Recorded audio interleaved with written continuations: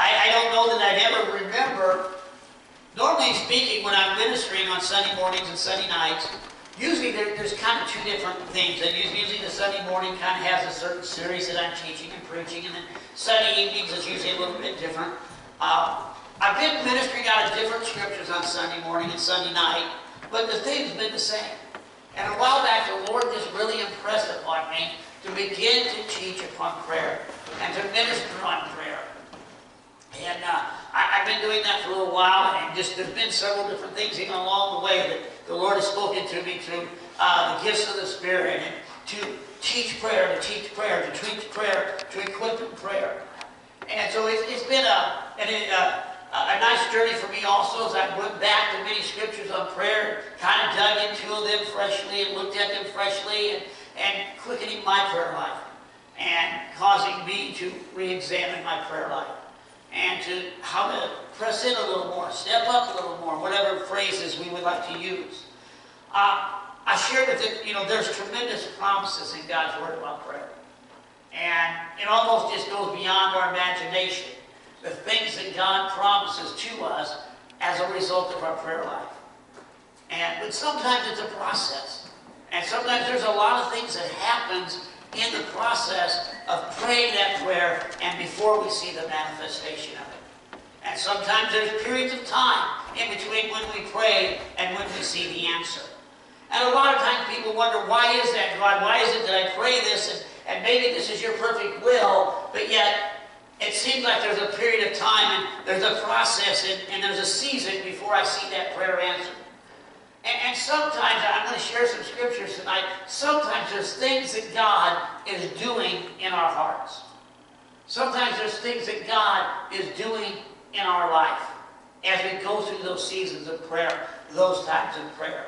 So what I really want to do tonight is I want to talk to you a little bit about that. And when we get into the meat of what I want to teach tonight, you're going to see that it's dealing primarily with that season of prayer and what may be taking place on the inside of us, on the inside of our hearts during that time and during that season. Um, John chapter 14 is where I've been at on Sunday nights, and we began at verse 12. Uh, Verily, verily, I say unto you, verse 12, I'll go ahead and read that again. He that believeth on me, the works that I do shall he do also. And greater works than these shall he do because I go unto my Father. Verse 13, And whatsoever you shall ask in my name, that will I do, that the Father may be glorified in the Son.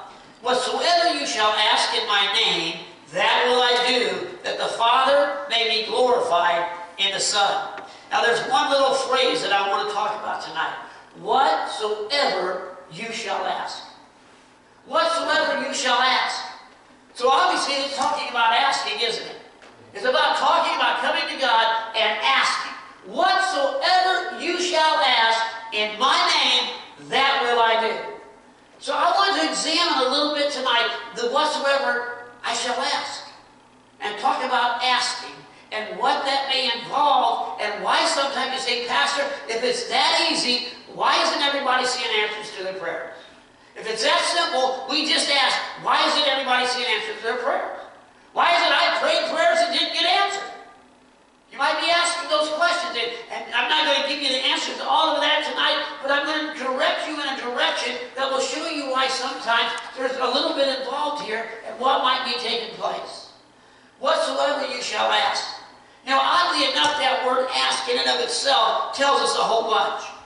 That word ask there, if you look into the Greek, is a word that is very significant if you dig into it a little bit. It means ask, to call for, to crave, and desire, and require. So whatsoever you shall crave in my name, that will I do. Whatsoever you shall desire in my name, that will I do. Whatsoever you shall require in my name, that will I do. But there's something very significant about this word ask. This word ask in the Greek is talking about somebody who is, so to speak, in a lesser place of status coming to ask of somebody who is of greater status. So obviously, if I'm coming to God and I'm asking, then obviously I'm the lesser asking the greater. But I'm the one who is dependent asking the one who I'm dependent upon. And the same way that that word is used in other places in there, is talking about maybe a son coming to a father as the head of the household and asking something of him. It's also used in, in an instance where somebody, a subject, would go to a king and ask of him. And you might say, what is the significance of that? There's a couple really interesting points about that. First of all, it shows us that we come to prayer in a position of dependence upon him. We come to prayer in a position of, of submission unto Him. We come to prayer in a position of, so to speak, surrender unto Him. A lesser going to the one who is greater, whom they are dependent upon. So we're talking about asking as a an act of dependence. I don't know about you guys. Have you ever been where you really needed to ask somebody something you didn't want to ask them? That happens, doesn't it? Like, you know what, I, I know I need to ask this person that, and I know I'm kind of dependent upon them in this situation, but I don't really want to do this. It's talking about asking someone who's greater. And maybe sometimes in, in our own to that place and we think, you know what? I know who God is, and, and I know that God's a prayer answering God, but I really don't want to go ask this of Him. Maybe I'll just handle it myself. Maybe I'll just do it my own way. Maybe I don't want to go to Him as a step of dependence and ask God for something that seems so small. You see, it's interesting too to know in that word ask.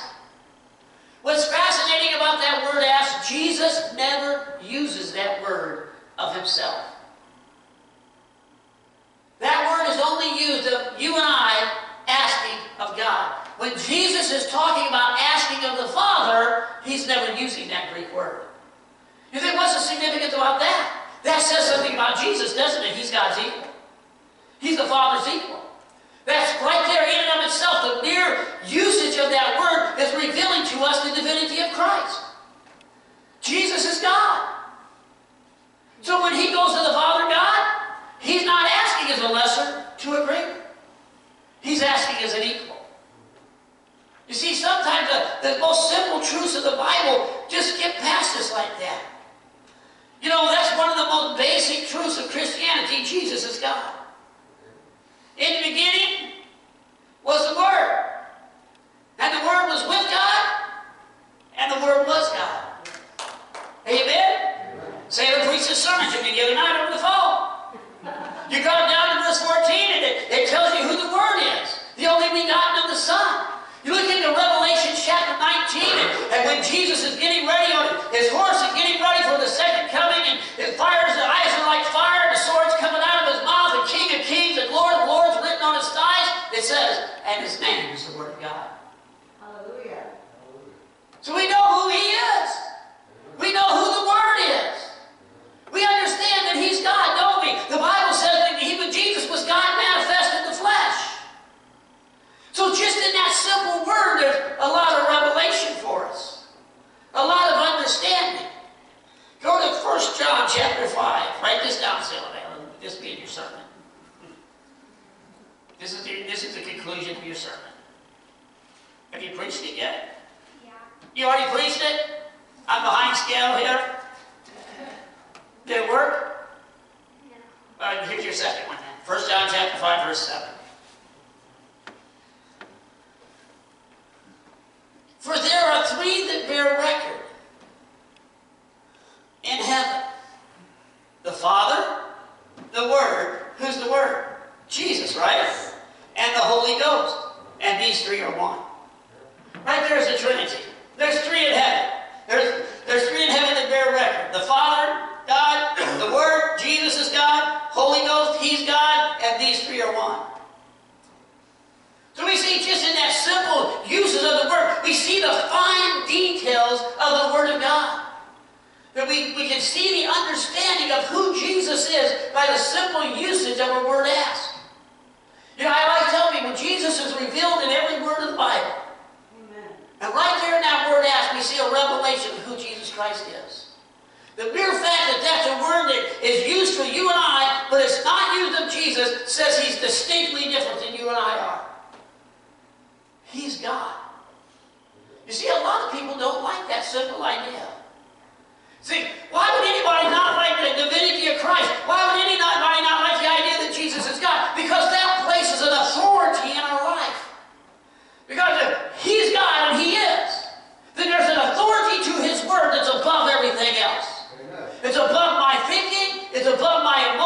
It's above my reasoning. It's above my understanding. It's above what's politically correct. It's above what society says is right or society says is wrong. If He's God and He's Lord of Lords and King of Kings, then the word He speaks has an authority like nothing else does. And a lot of people don't want that. They want to do what they think. They want to do what they feel. They want to feel, do what modern society says is right. But the political situation says is right. But you see, you can't accept Christ as God and not bow your knee to it. You can't accept Christ as God and, and not submit yourself to His words. People say, well, I believe in Jesus. I say, why don't you believe what He says then? You can't separate the two. If you believe who He is, you got to believe what He says. Amen? Amen. Okay, just make sure we're here. That's just a little side note. Go to James chapter 4. We're just looking at asking tonight. So we understand that when we ask, we're, that word there is talking about somebody coming, a lesser coming to a greater. And the mere word itself implies dependence and prayer life. And probably one of the greatest enemies in, in, in prayer is, is pride, us thinking we can do it ourselves. I can pull this off. I can handle this. I, I don't need to commit this to the Lord in prayer. I don't need to pray about this. And sometimes when people pray about the small things, people act like they're goofy. But in, in Philippians chapter 4 that we've been studying, it's about what? Pray in all things. Pray about everything. So why sometimes might I be praying then, Pastor, and not seeing the results? James chapter 4, verse 3.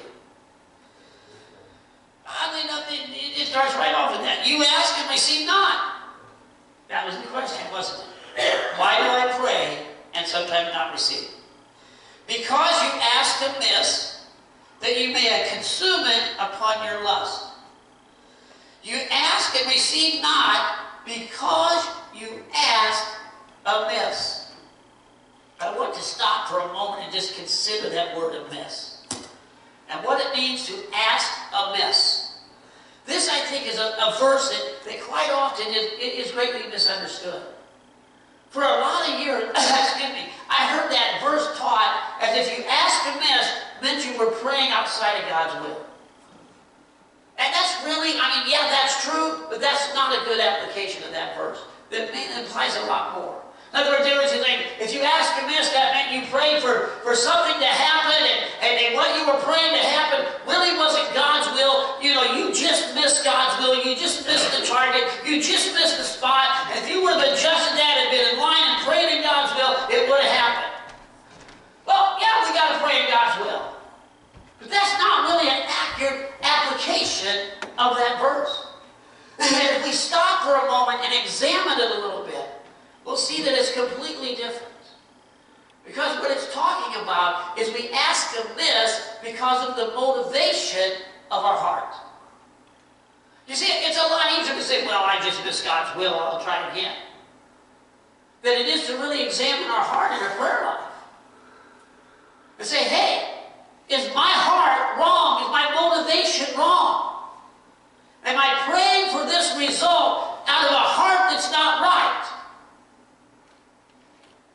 You see, because if we examine the context it uh-huh. seems to me that that's whatever it's talking about, because the definition of that is whatever is evil in character, based, destructive, or injurious. Whatever is morally or ethically wrong qualities, emotions, passions, and deeds. If we ask out of a heart that's wrong, we're asking amiss. So that process that I'm talking about where we come to God and maybe we lay something before Him in prayer, and maybe there's that season or that time that we're, before we see the manifestation of that, maybe in that season and that time is a time that we need to adjust our hearts and deal with our hearts. Hallelujah. You know, I'm shouting too much. You see, there's a lot of things and possibilities in the Word of God of things that hinder our prayer life. You know, one of the things that Jesus connects to, to, to, to prayer problems quite often is unforgiveness. I mean, that's a big one. You know, Jesus taught the parable, and you've heard me teach about that before, where the person came to the debtor and was begging for mercy, and, you know, have mercy on me, and, and, and so on and so forth, and, and that debtor forgave that debt didn't, didn't uh, uh, they pay it. And then that debtor immediately uh, went out and went out, and as they go out, somebody else runs up to them and says, Hey, will you forgive my debt? And the one who had just been forgiven of the debt would not give, forgive that debt. Now, I don't know about you guys, but that's pretty plainly bogus, isn't it? And that, that's a parable I shared with you guys many times that the Lord used powerfully in my life. Because when I first got saved at, at 25 years old, there were some people in my life that I had a very hard, bitter heart toward. And people who had, were doing the same stuff that I had been doing that I asked God to forgive me of. So here I go to God, God forgive me of this mess. I get up and still have a hard heart toward those doing the same thing. And that's exactly what that prayer was talking about. And beloved, Mark chapter 11 very plainly connects with us that, that, that our prayer life will be hindered if we have unforgiveness in our heart. Asking amiss, one of the areas would be to ask with unforgiveness in our heart. So maybe you say, well, I'm praying about this, and, I'm looking to see an answer to this, and, and I'm looking to see manifestation with this, and God's saying, you know what, let's talk about your heart for a minute. You're asking amiss. You're asking with something in your heart that shouldn't be there. And maybe we need to first deal with this. And then we'll get into the prayer stuff. The Bible talks about a lot of things. You know, one of the scriptures that has really hit me with this. Because one of the things, like I've shared, it, as I've been going through this time of, of teaching and, and sharing about prayer and, and ministering about it and, and going into a season for myself, is really God, I want you to examine my prayer life. I want you, God, to show me where I'm coming up short in my prayer life. I want you, God, to get my prayer life in line with where you want it to be. And there was one scripture that I just read the last couple of days, and, and I thought, Lord, I guess I've never really looked at that in the context of prayer. But the Lord has greatly searched my heart with it. Go to Matthew chapter 24 for just a moment. Matthew chapter 24. Hallelujah. And, and this is the scripture the Lord has used in my heart.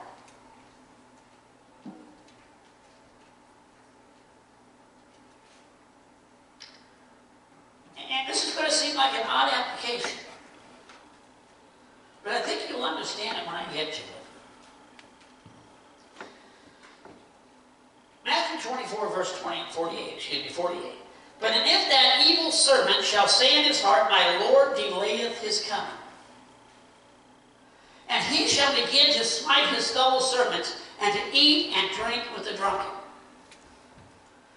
The Lord of that servant shall come in a day when he looketh not for him, and in an hour that he is not aware of. And you think, what in the world do you see in that that has anything to do with prayer, Pastor? And I just, the Lord just kept quickening that to my heart. And just clicking it to me. And Lord, I don't understand what are you talking about there. You see, it's talking about somebody who was careless about their life because they were thinking that Christ wasn't coming when he said he was. Other words, they were living their life in a way that was not in anticipation of the rapture of the church. And because they were not living their life in anticipation of the rapture of the church, their life was very careless. And I, Lord, I, I understand that. I, I, I preached that. I, I've taught that a multitude of times. Lord, I understand that passage of scriptures. But what does that have to do with my prayer life? Well, let me ask you this. Let me ask you this you know, we, I, have done this teaching before, and, and, and, and preaching before, and, and years ago when I would do a lot of evangelism, I taught a lot on the rapture, and one of the things I would go into churches and teach about was I don't believe Christians are really ready for the rapture. They're not really living like they're expecting it. Not that they're not ready, not that they're going to go into the rapture, but they're not expecting it. Because the Bible says that if we are expecting the rapture, we purify ourselves. And I see a lot of Christians living pretty careless lives, not purifying themselves and getting ready for that moment to meet Jesus. So if you apply that same line of thought to our prayer life, let me ask you this. Are, is your prayer life the prayer life of somebody who is expecting the rapture to happen at any time? I mean, think about it. If somehow or another you knew that, that a week from now that Jesus was going to rapture the church, would your prayer life change between now and then? Are you praying with a heart and, and a sense of urgency that, Lord, if there's something in my heart that hinders my prayers from being answered, Lord, show that to me, reveal that to me, because I need to deal with that, because time is running short, and I'm praying for the souls of men and women. I'm praying for the souls of my family. I've got to make sure that I'm right, God. I've got to make sure that my prayers are in the right place, that I'm standing on playing ground, that I'm standing on believing ground, so that those prayers can be answered. If we're careless about that, then we are not praying like we're expecting Christ to rapture the church. If we're casual about our prayer lives, we are not expecting the return of Jesus Christ. I can stop there and that'd be a good sermon. You see, I think, that, that, think, wow, that's one of like, ooh. The Lord just tears my heart up before I teach it, though. Because you know what? The more I look at that, the more I look at that, then, oh my Lord. We're not praying like we're expecting Jesus to come. I don't believe we are. I don't believe we are. I believe, you know, prayer is something I've taught on and I've ministered on for a lot of years. And, and I don't mean this to be in any way, shape, or form putting anybody down. I'm just saying this is a way to stir us up a little bit. I think we're pretty careless about our prayer life. I think we're pretty careless about praying for the lost and dying out. I don't think we have a sense of urgency of it, where we're getting before God and saying, God, we've got to see a move of the Holy Spirit. If there's something in my heart that's hindering God, would you please reveal it so I can deal with it tonight? I don't think we're there.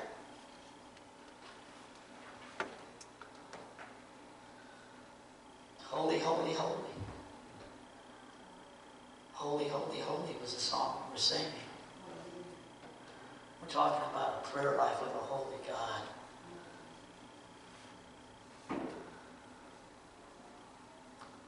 Go back to James. That's what I wanted to say to us. Stop and consider what you've just heard. James chapter 2. Hallelujah. James chapter 2. And if we look at this verse,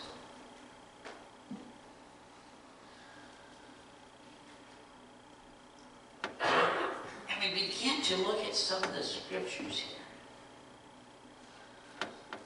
and just stop for a moment and consider what we're talking about here. And consider the context. James chapter 4, I'm sorry, I said 2, didn't I? I'm getting ahead of myself, I'm sorry. James chapter 4, verse 3, you ask and receive not, because you ask amiss. And we're looking at asking amiss, that you may consume it upon your lust. But notice the context, and as I always teach you when we're learning to study the Bible, always look at it in the context. From whence comes wars and fightings among you? Come they not hence, not even of your lust that war in your members. Verse 2. You lust and have not. That- that- That's an issue of the heart. You kill and desire to have and cannot obtain. You fight war, yet you have not because you ask not. In other words, it's all dealing with the lust, the consuming upon your lust in verse 3. It's all dealing with something inside of us. It's all dealing with something that's living within us. You know, there's an example, and uh, I used to read it years ago, and I, I just there was one of the scriptures that I just I thought, Lord, I know it's true, but it just it just didn't really I didn't quite grasp it. When the Israelites were being delivered out of Egypt, I mean, they're just overwhelmed with lust, wanting to go back to Egypt. And I used to like, why would anybody want to go back to bondage? But after years of watching people, I see a lot of people who want to go back to their bondage. A lot of people get drugs and want to go back to the bondage. Get delivered from alcohol, want to go back to the bondage. Get delivered from gambling, want to go back to the bondage. But they began to lust after, you know, oh God, I, remember the melons and I remember the bread and I remember all the good food back in Egypt.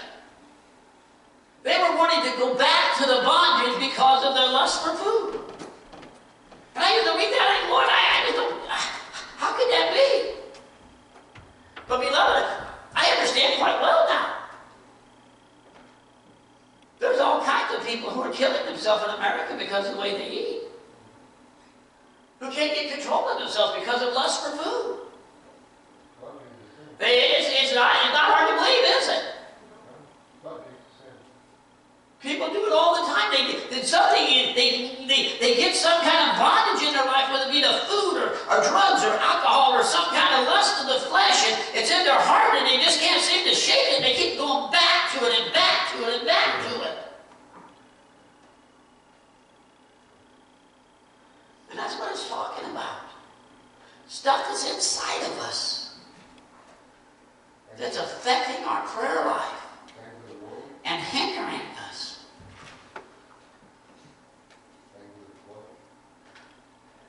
Go to Psalm 78. You see, beloved, the question here is not so much what we asking for, but why you asking for it.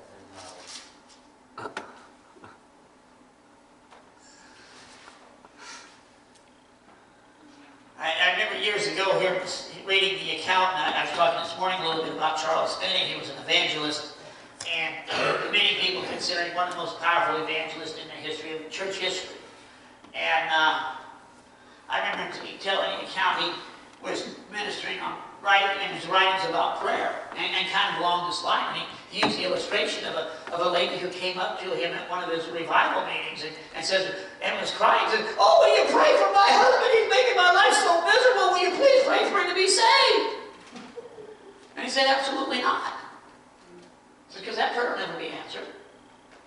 He says, what do you mean? You want my won't answer my prayer for my husband to be saved? Not with that motivation, because the only reason he wanted to be saved is so your life would be better. I mean, it sounds good. But the motivation wasn't concerned for his salvation. The motivation was he'd be easier to live with when he got saved. He was asking this. Just to make her life easier. Y'all at me kind of funny. Boy, there was those prayers, I guess. I've been praying for that neighbor so they quit being so loud. Lord, save that neighbor. They're keeping me awake at night. Psalm 78. Verse 18. And this is talking about them when they were lusting for that food. And they tempted God in their heart by asking me for their lust. And you say, what in the world doesn't the Bible tell us to give us today our daily bread? Is there something wrong with asking God for food? Absolutely not. Is there something wrong with asking God for your provision? Absolutely not. The problem was the motivation in their heart. They weren't wanting provision. They were wanting something that they were had grabbed a hold of them and seized their heart. Rather than saying, God set me free from this mess, they were saying, God, feed this mess. You see the difference? They were asking amiss. Say, what do we do, Pastor? How do we keep in our hearts and our lives from asking amiss? How, how, how, do you do that? How do I, how do I, Pastor, keep from praying selfish prayers? Two things we've got to understand here. First of all, we've got to understand in that season, in that time in our prayer life, that quite often maybe God is working things out on the inside of our hearts and preparing us for the breakthrough or the answer to come.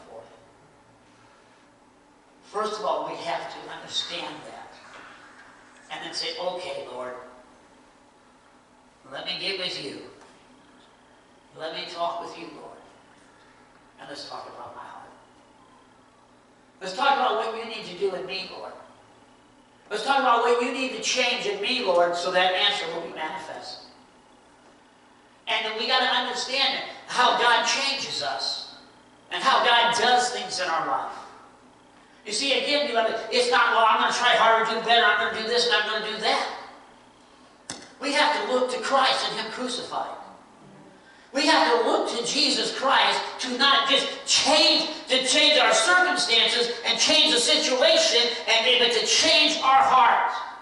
And we have to realize in the heat of that battle, in the heat of that moment, we have to look to Christ and say, Lord, you deal with my heart. You change my heart. You change the inside of me that needs to be changed. Just like the, the brazen serpent in the Old Testament when they got bit by the serpents and they were dying, and, and Moses cried out to God,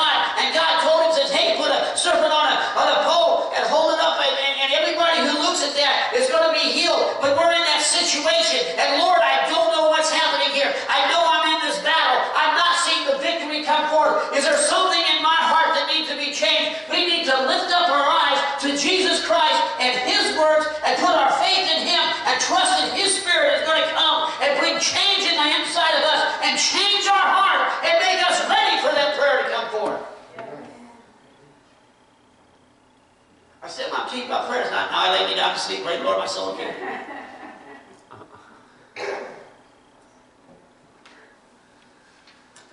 You see, beloved, if we really, we, we preach and we talk and, oh, we're in the last days, Jesus coming soon, why be living like it then? Seriously. Why aren't we praying like that? Why isn't our life consecrated like that?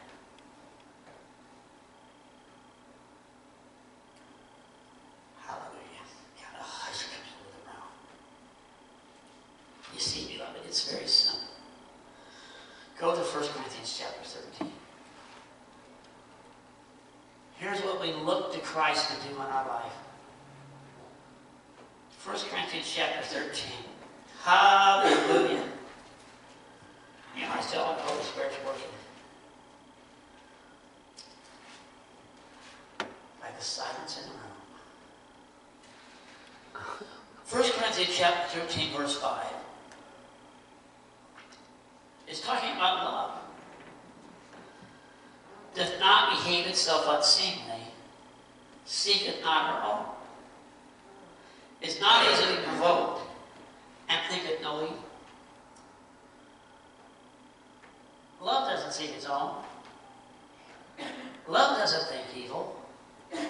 So if love is the motivation of our prayer life, then we're not going to be asking to hit upon our own lust, are we?